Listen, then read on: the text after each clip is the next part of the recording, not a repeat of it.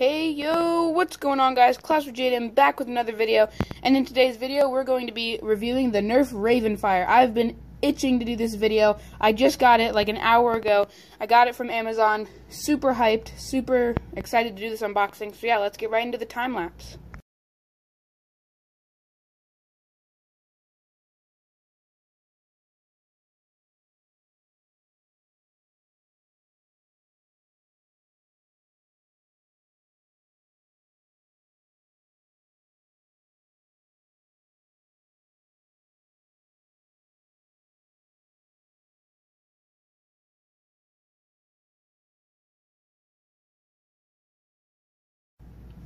Okay, so now that I have everything loaded up, um, everything looks great, everything works great. It is an awesome blaster. And I think yeah, let's let's get right into the firing test. Okay, so blaster is ready, everything is ready to fire. Now let's try it. Okay, already right off the bat, this feels amazing. I absolutely love the way that the trigger feels, that really everything feels. So now let's fire a couple more. Alright, and now let's try rapid fire. Let's see how well the gun does with rapid fire. Okay, so pretty well with rapid fire.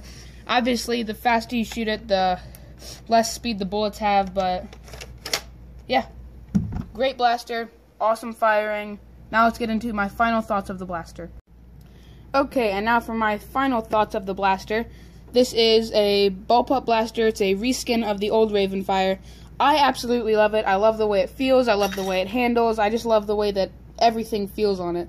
It has sling mount, sling mount, sling mount, uh, flywheels. It's it. Do, oh, and note that it does take four AA batteries. That's pretty self-explanatory. Battery trays right here. Um, but yeah, I love this blaster. It looks awesome. Personally, I like the way it looks more than the uh, old Rayven. But yeah.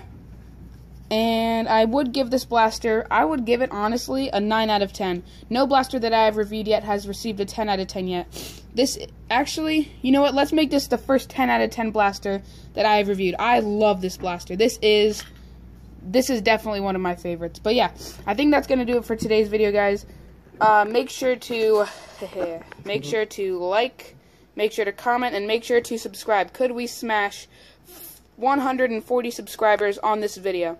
That would be awesome. And don't forget about the giveaway that is going on when we hit 200 subscribers. And my sub goal is 200 subs by January 30th, by the end of January.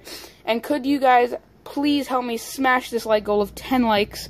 And yeah, I think that's going to do it for today's video. Make sure to like, comment, and subscribe, and I'll see you in the next video. Peace.